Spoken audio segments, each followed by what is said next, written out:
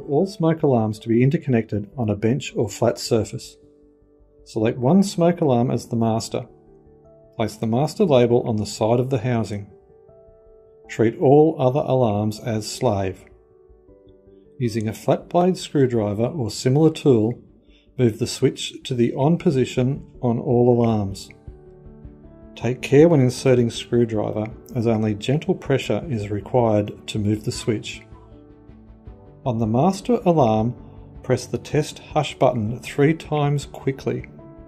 The alarm is now in pairing mode indicated by the network blue LED remaining on for 30 seconds. While the master alarm blue network LED is on, press the test hush button three times quickly on one slave alarm.